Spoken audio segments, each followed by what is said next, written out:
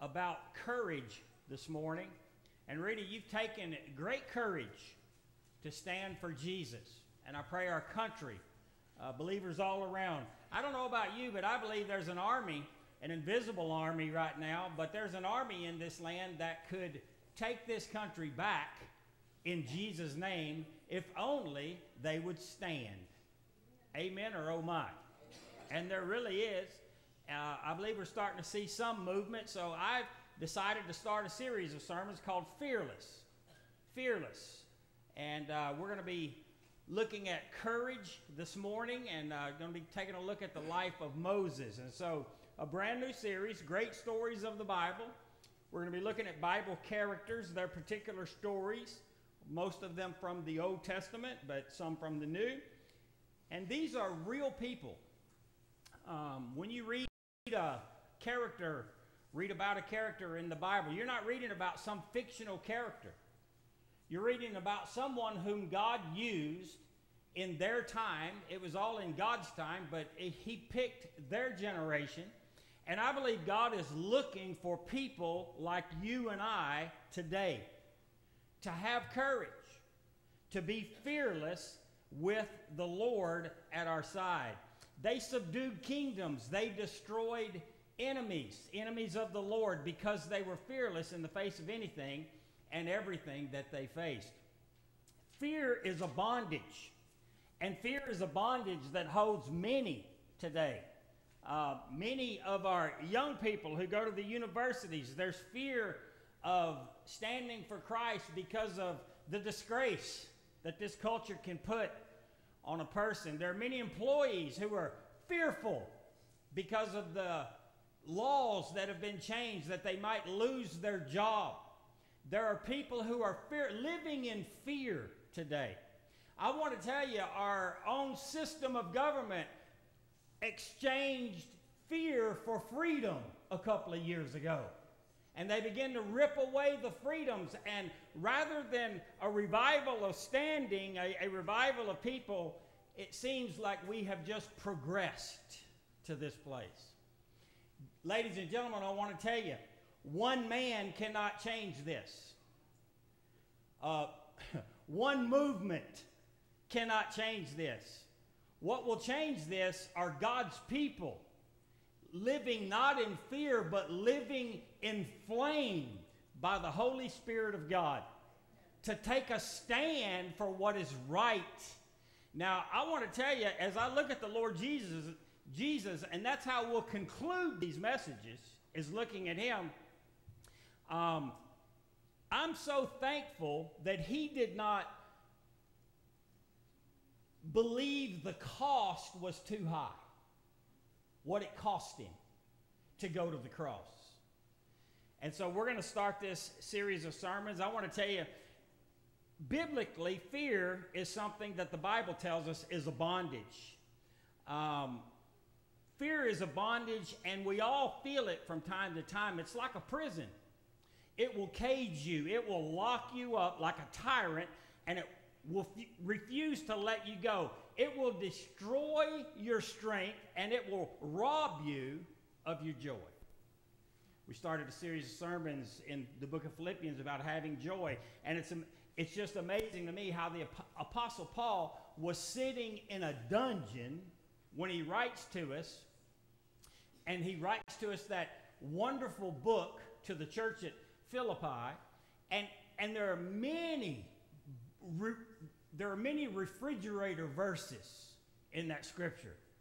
Um, one of my favorites is the God who began the good work in you, he will complete it until the day of Jesus Christ. And so Paul says, Every time I think of you, I pray for you. And he had a joy, and yet, look at what he had in his future, potentially. He did not know what his future was, neither do any of us. But nevertheless, the Apostle Paul fearlessly serve the Lord. And God's calling people today in the same way. Fear is a, a bondage. According to Scripture, it can be a bondage of your emotions. It can, it can enslave you spiritually. It will lock you up, literally. Uh, many people today are held captive by anxious thoughts and worried minds. Prescriptions are at an all time high for anxiety. I want to tell you, I believe the Lord Jesus can cure anxiety. I really do. When the Bible tells me in so many places to be still and know that He is God, to rest in the arms of the Lord Jesus. And so, can you imagine this life? Someone today is saying, you know, I don't know if it's possible to live a life free from that the bondage of fear. Fear visits us all from time to time. But like a bird flying over my head, I can't stop that, but I can stop him from building a nest in my hair. And so fear visits sometimes. It, it, it comes around, but we don't have to allow it to stay. In Jesus' name, you can say, Get behind me, Satan. And it is possible to live a life apart from fear. Can you imagine those who are afraid? Can you imagine a life of peace and a life of literally uh, just calm rather than chaos? Multiple times, 365 times, one for every day of the year, the Bible tells me, do not fear. Do not fear. God knows our potential towards fear, and so his promise is that he is able to break the chain. And so I want to start this morning with the life of Moses. I can't stand up here and use my own life as an example. I wish I could. I'm learning just like you. I'm learning like you. I grew up in this generation just like you. I'm part of this, this part of time just like the rest of you. And I do believe with all of my heart we will all give an account to the Lord Jesus for how we spent our time, how we spent our lives, and how we used our lives, whether it was for His glory or for the world. And I believe that with all of my heart. So I want to start with Moses. Moses was a man among men. This is uh, the one who grew up in Egypt, adopted as the son of Pharaoh. He was a Jewish boy, a Hebrew, but he was adopted into the family of Pharaoh, who was the king of Egypt, the most powerful man on earth. And yet, at a certain time in his life, Moses made a courageous decision.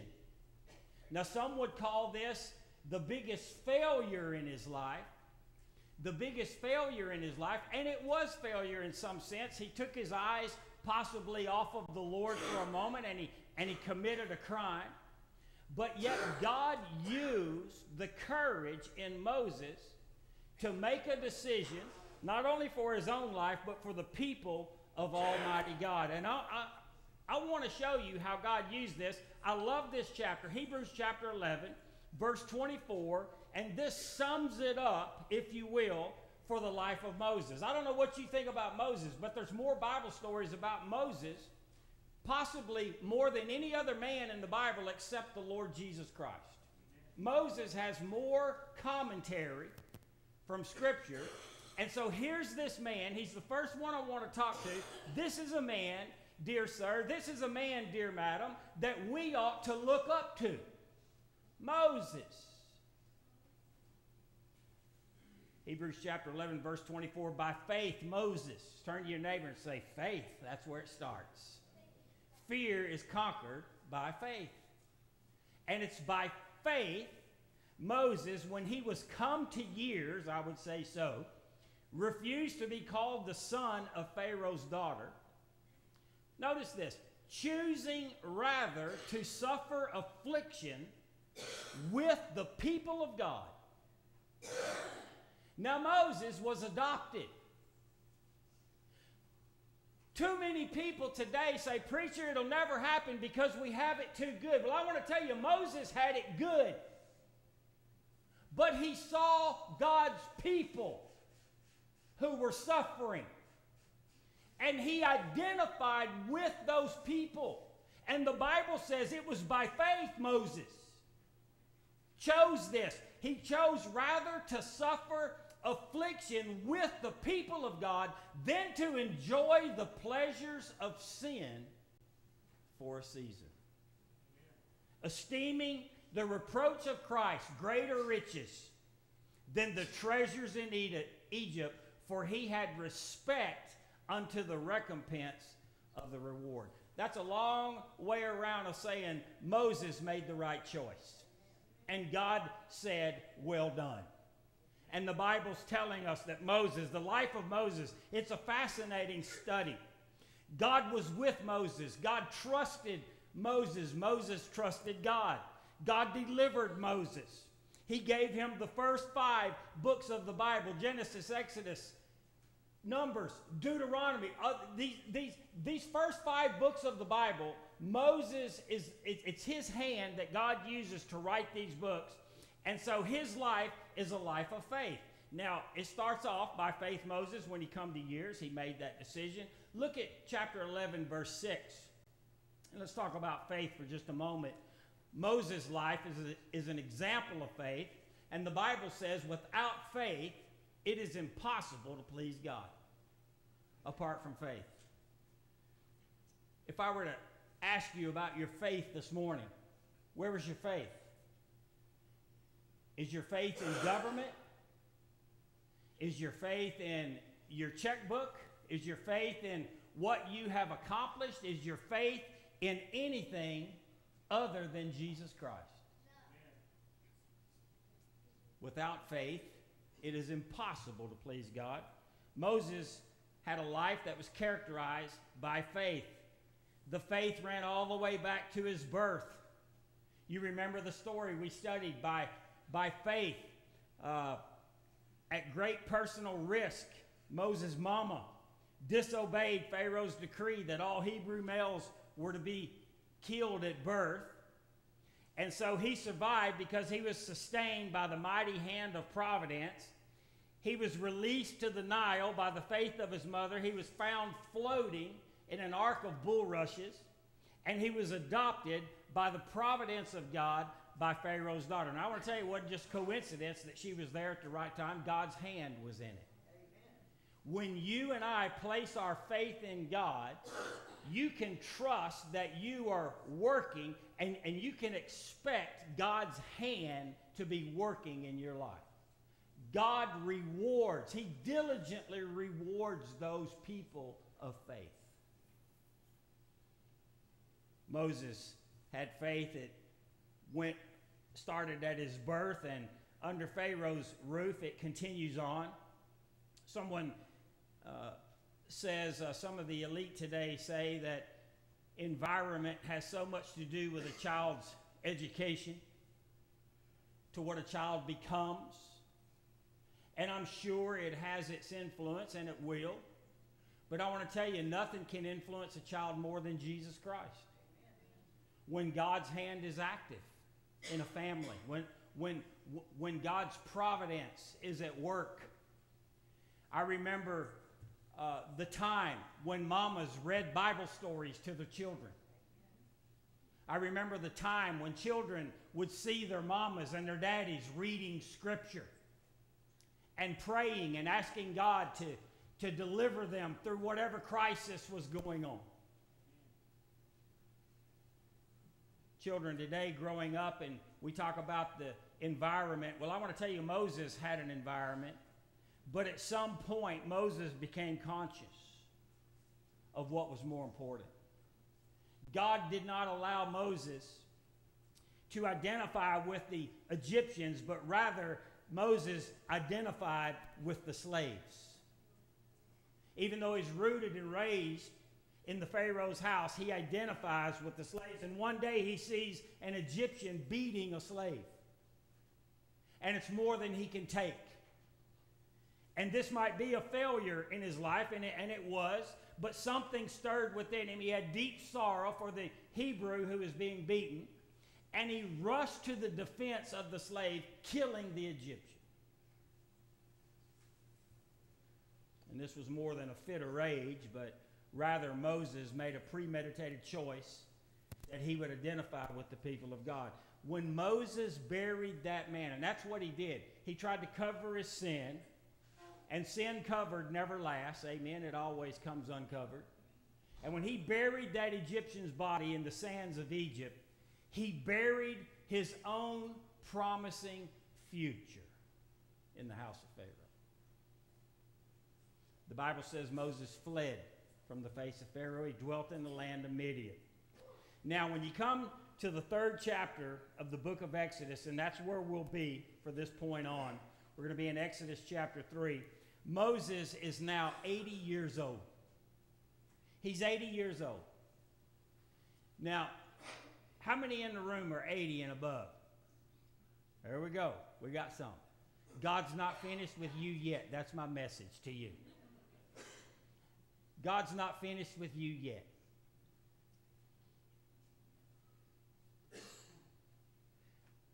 In Acts chapter 7, when he was a full 40 years old, it came to his heart to visit his brethren and the children of Israel. Seeing one of them suffer wrong, he defended him, avenged him that was oppressed, and smote the Egyptians. So there you go. Preacher, how'd you know how old he was? The Bible tells me right there in the book of Acts. Moses was 40 when he killed the Egyptian. He flees, he runs, and in Acts chapter 7, and when 40 years were expired, this is verse 30, there appeared to him in the wilderness of Mount Sinai an angel of the Lord in a flame of fire in a bush. So the burning bush experience happened when he's 80. 40 plus 40 is 80. Now, how did God prepare Moses? The same way he prepares us. It wasn't in a day, that's for sure. He prepared him over time. 40 years on the backside of the desert. That's, it, it's one of my favorite parts of Moses' life. Most of us are rural people. We like living on the backside of Honover. I mean, uh, of, of, of, of the desert, right? Yeah, that's supposed to be a joke, but God prepares us not in a moment, not in an event, but He prepares us through a process. And more important than the goal that God is up to, the goal that He wants us to get to, just as important is the journey, what's happening while we're waiting. Waiting is what deepens, and it's in this waiting room of life that God begins to do his wonderful work, and there are no coincidences. God knows how to level us. God, God knows how to get us right where he wants us to be, to level our perspective, to broaden our understanding. Noah waited 120 years before the rains came. Abraham waited 25 years for the promised son, Isaac. Joseph waited 14 years in a prison for a crime that he never committed. God was working in his life. And right now, many people are discouraged. And I, I want to tell you, perhaps, perhaps, no one knows the future, but what if God is still at work in this great country? Job waited perhaps a lifetime for God's justice. Moses knew what it was like to go from a prince to a pauper. At 40 years old, he made a mistake, and then that decision would change the next 40 years of his life. He would spend them on the backside of the desert in Midian, in, in Midian. And by the time he's 80, you can imagine he settled in pretty good. And one day, out there with the sheep, there's a bush with a fire that would not go out.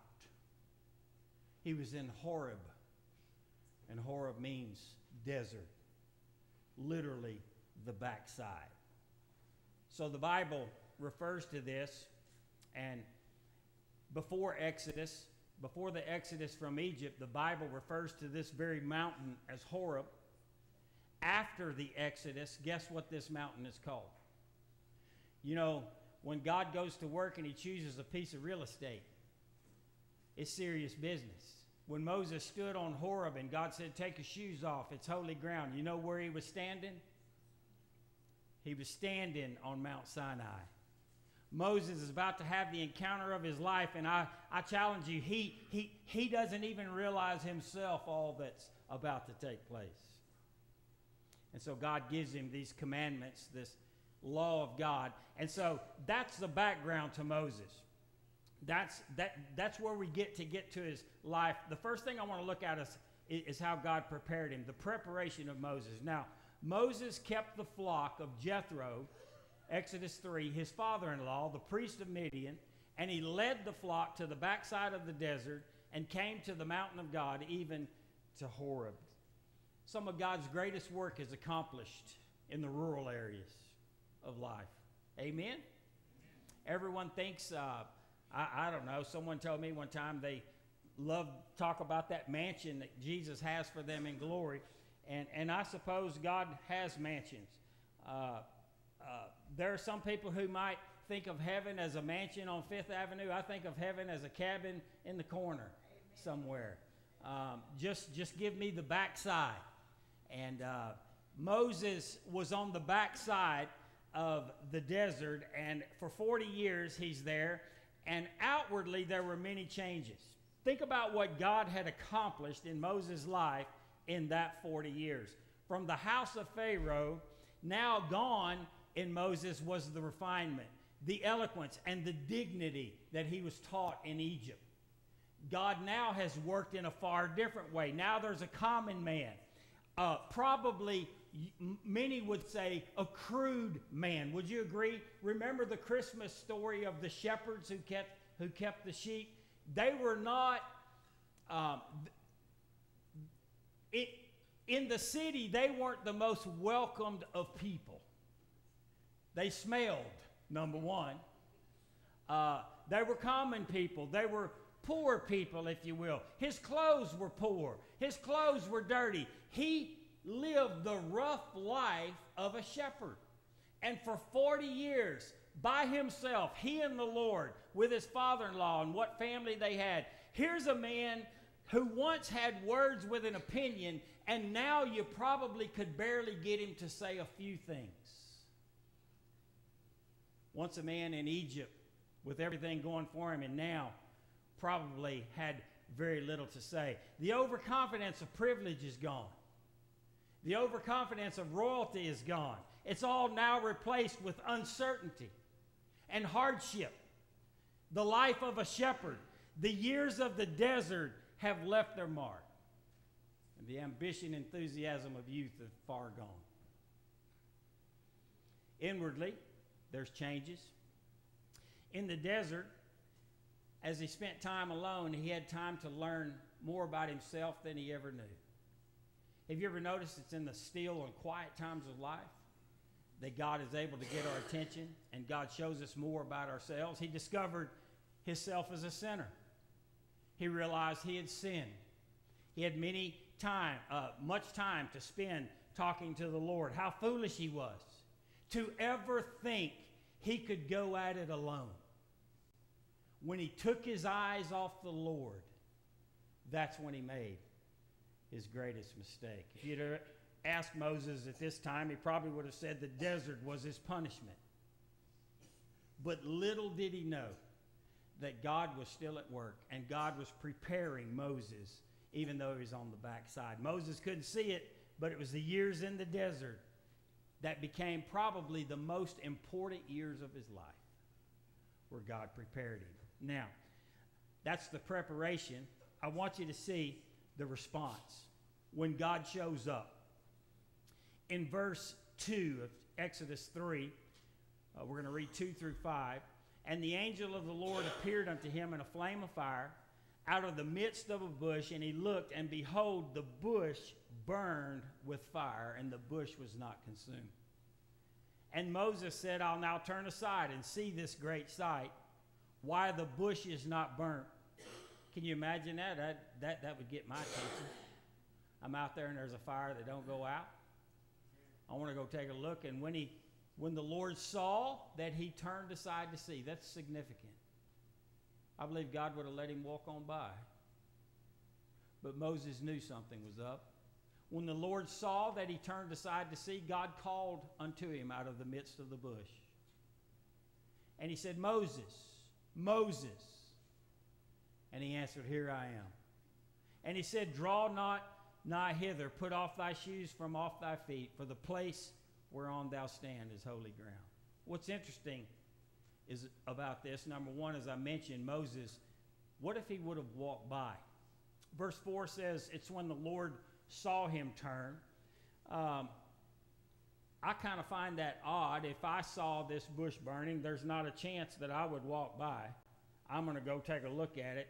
And so, what's the point of God putting that in our Bible? It was when Moses turned. I believe some people are so busy in this life, God could show up in whatever way it is, and they never have time for God. Are you too busy? Are you too consumed? Moses was still in a place where God could get his attention. Someone once said it like this if the devil can't make you bad, he'll make you busy. And I look around our country and I see I see people running like there's no tomorrow. I don't know how the family has done. I mean, the family's in bad shape, but I don't know how we even got families left at the rate we're going. There's no time for family anymore. Many times at church, I, I literally counsel people. You know, uh, we have a lot of activities here at church, and as a pastor, I try to make all of them, and that's my job. But I want to tell you if you try to be here every time we got something going on and you got young children at home, you're putting your family on the altar. Your first and foremost duty, mom, is to mother your children. Dad is, is to be the father of your children. And so we have people ha- more committed to softball, baseball, or soccer than they are the Lord Jesus. And they're running and they're running and they're running, and we wonder what's going on. Can I get a witness? Moses, at least on the backside, God had gotten his attention, and when God needed to talk to him, Moses was available. It's the only reason I believe it's in there. I see the Lord working in many ways today and I see very few people responding. I've said this many, many times. One of the biggest lies in our land is this thing called climate change. Now I realize we just came through a very hot period. Some say it's, it's possibly been the hottest. I don't know. Bud was out in Las Vegas, said it was 115 degrees, 103 at 6 o'clock in the morning. But I want to tell you something about this. What that is telling us, if you believe that, that people have control of this earth. That we can control it, whether it's destroyed or whether it's kept. And I want to tell you, only God has that. Only God. And God is the one, He's given us much scripture to show us that he's not finished with this earth yet. There's still literally a thousand year reign of Jesus Christ going to happen upon this earth. This earth. And so I know to trust the Lord. And Moses is trusting God. He says, I'm going to turn aside. I'm going to see this great sight, why the bush is not burn out, and God reveals himself to Moses. I want to tell you,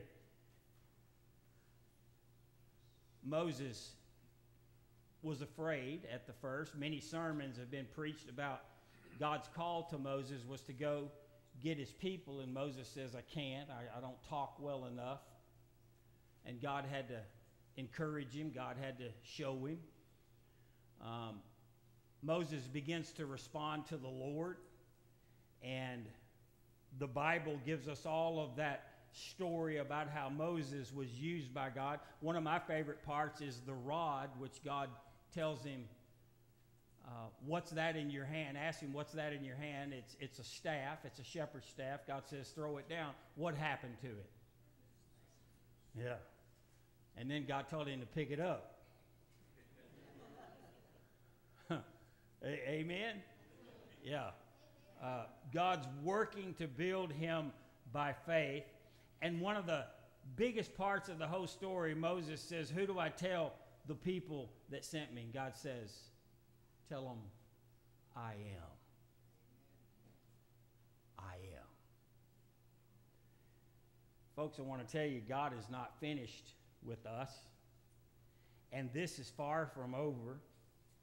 And the part that bothers me the most about our generation is as I look at all these heroes of the faith, they sacrificed much to follow Jesus. Amen? To follow God. Sometimes we act like we're the only ones that sacrifice anything. They sacrificed much. And the Bible gives us their story. And I don't even have to stop at the scriptures, I can just go to history and look at history. How many soldiers have sacrificed for the freedom of our country? How many sailors? How many, how many common people called by God or they, they have given it all, and yet today we have people who are reserved because it's going to cost too much. So we see the preparation of Moses. We see uh, the call of Moses. Look at, look at verse 6. He said, When Moses asked who he was, I am the God of thy father, the God of Abraham, the God of Isaac, and the God of Jacob. And Moses hid his face, for he was afraid to look upon God. And the Lord said, I have surely seen the affliction of my people which are in Egypt, and have heard their cry by reason of their taskmasters, for I know their sorrows. God's not unaware. He knows the sorrow. I'm come down to deliver them out of the hand of the Egyptians and to bring them up out of that land unto a good land and a large un, unto a land flowing with milk and honey unto the place of the Canaanites, the Hittites, the Amorites, the Perizzites, the Hivites, and the Jebusites. Now, in essence, God's not finished. God's plan is not finished. God's story is not finished. Well, dear friend, it's time for me to close this, but I, I want to close on the same note. God's not finished, and He's still at work. And God is looking to this generation. How many will, by faith, have the courage to trust God, to look to the Lord and not look to this world? I want to tell you, as I read uh, stories about the things, the, the abominations that are happening in our land. I'm surprised. I, I remember a time when the anger of the Lord would burn in the people of the Lord. When abominations such as what we see in our land go, go on. I, it, it just amazes me. When children are being abused, when uh, a government of the people, by the people, and for the people's taking is hijacked and freedoms are being destroyed. I want to tell you, God is not finished with us. Now, um, I'm a military guy, only four years. But more than that, I'm the son of a military guy. I was raised in a military home my daddy was career Air Force. And I want to tell you, we were taught as children to love our country. We were taught as children that there are sacrifices to be made for a country.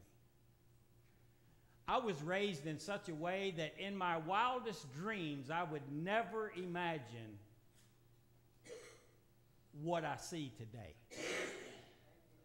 I would never have imagined that.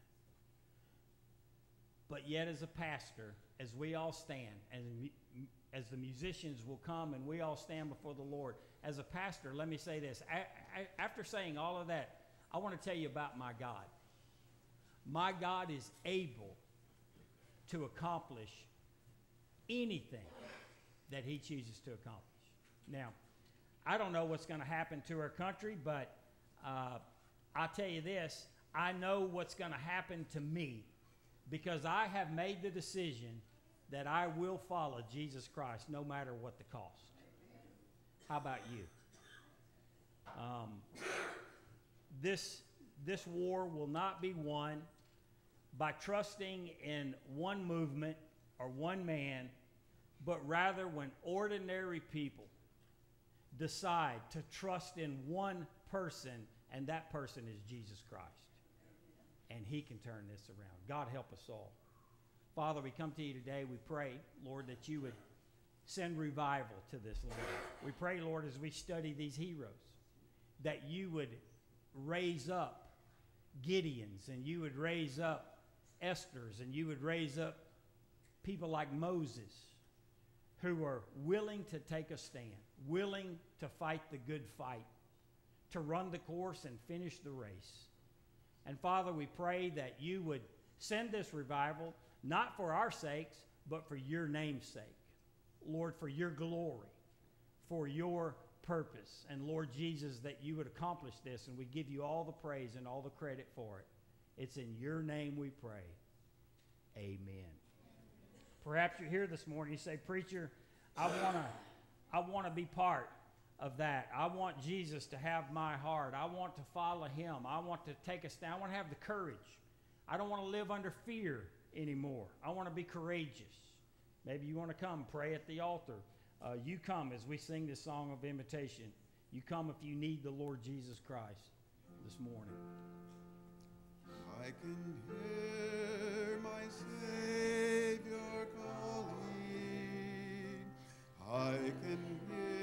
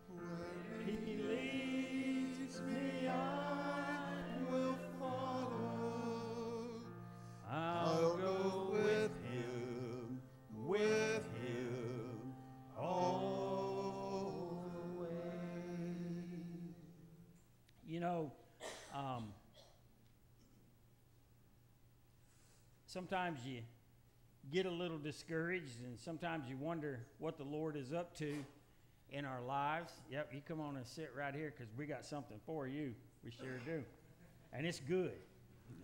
Yeah. Um, but God's been working in our church for some time, and I've been asking the question, Lord, what are you up to? What are you calling us to do? As I see the church grow, ladies and gentlemen, we're not growing just to, for the sake of growth. We're growing because God is about to accomplish something through us. He, he's guiding, He's providing. He, so I challenge you to find your place, to find your ministry, and, and to plug into it. It's only then that we can accomplish what He's called us to do. There's a lot of work to be done. And here's some more people He sent to us from Texas.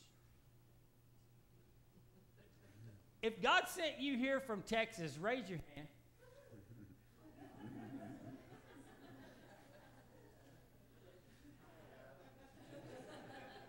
Maybe y'all about to get taken up. No, I'm just kidding. No, I'm, just, I'm, just, I'm just saying. I, I'm, I, I didn't do this. God's. A, but Dana and Dave Lipscomb have sold their property. God helped them. Delivered it. It sold. They're done. And they're coming to Cove First Baptist Church. Coming by letter. Coming by letter from First Baptist Church, Moores Lane. Have you ever seen the size of that church? That thing is big. Tommy called it the uh, Power Ranger station or something whenever he went by there. He called it the Power Ranger. But anyway, Dave, you and Dana, would you come and just turn around right here? Because they're going to come give you a right hand of fellowship here in a minute. They're going to be nice to Dana. They're going to get kind of rough on Dave. No, I'm, I'm just kidding. I'm, I'm just kidding. So, God bless you. God bless you. We welcome you. All those in favor say amen. Amen. All right. Rita, you stand because I got something for you. I got the Bible, which is the Word of God. There's the box. This certificate says Rita Stewart on August 8th, 2023. I followed the Lord in believer's baptism, and I need to sign that, so don't let me get by with that. But also, this Bible is a lamp unto your feet and a light unto your path. And we give you this, and come by and I'll get that signed. But y'all give her a big hand. Yeah. So before before you leave, you come around here and you hug these two and you work that one over o- over there. No, no, no, I'm just kidding. Work them over in Jesus' name. You know? So anyway, Brother Terry Scott, close us, please.